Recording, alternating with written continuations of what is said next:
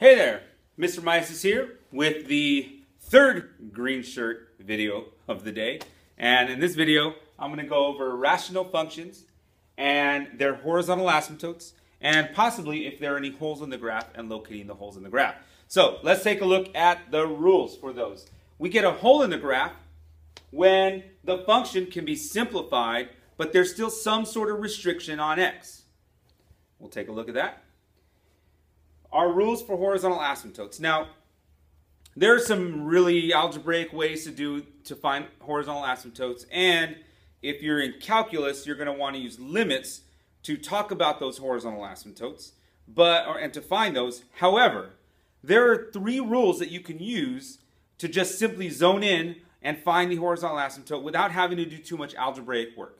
So I'm going to focus on those three rules, and that should simplify finding those horizontal asymptotes for you. So the first one is big over little, and we have no horizontal asymptote. So let me tell you what big over little means when I, when I mean by, uh, by big over little.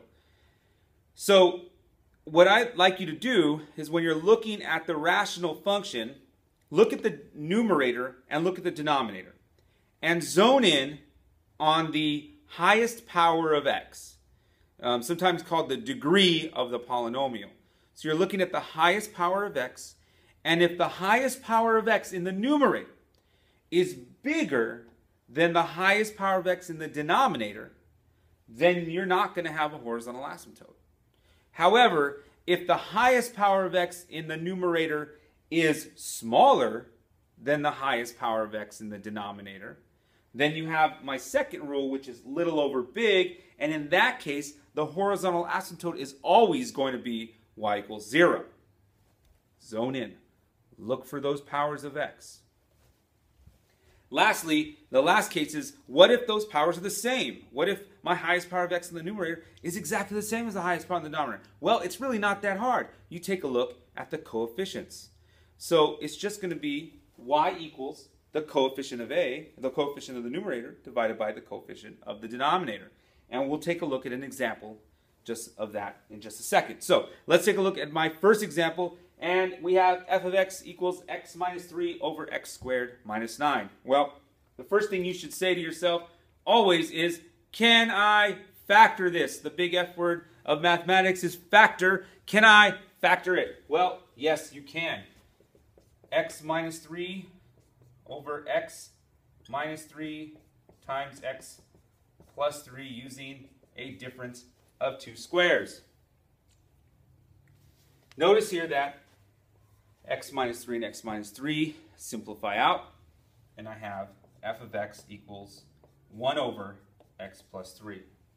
If I was to find the vertical asymptote of this, I know that from watching my previous video, my vertical asymptote would be x equals negative 3. Well, something happened here. If I plug positive 3 in for x in my original function, which coincident, which I should tell you now, you always have to consider the original function. Even after you simplified, what did my original function look like? Plug in 3 for our original function. We get 3 minus 3, which is 0. And 3 squared, 9, minus 9, which is 0. 0 divided by 0 is it's actually called indeterminate. We don't we can't determine what that is.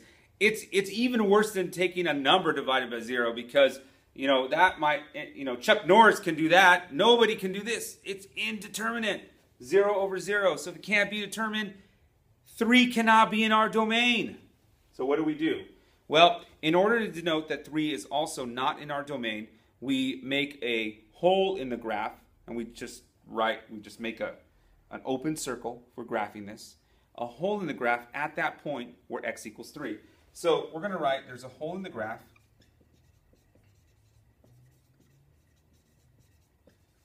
at x equals 3. More specifically, 3 comma 1 6. Now how did I get 1 6? I plugged 3 in my simplified function, and I got 1 over 6. So there's a hole in the graph there. Now let's turn our attention to the horizontal asymptotes. My next example, f of x equals x cubed minus 1 over x squared. Now remember, began the video, I said we want to focus our attention on the highest power of x in the numerator and the denominator. Let's take a look. Highest power of x is 3, x cubed. Highest power of x, x squared. Big over little. Big over little, no horizontal asymptote. So we would just say none, not applicable, doesn't have one. We move on. f of x equals 3x squared minus 1 over 2x to the fifth plus 4. Again, zone in on the highest power of x, x squared, x to the fifth. The bottom is bigger than the top.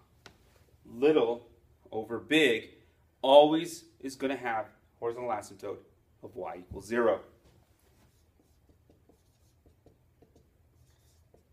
y equals 0. That's it. Move on. f of x equals 5x to the fourth minus 6x plus 1 over 7x to the fourth minus 3x cubed plus 2x minus 3. Again, zone in on the highest power of x. Highest power of x here is x to the fourth. Highest power here is x to the fourth. They're the same.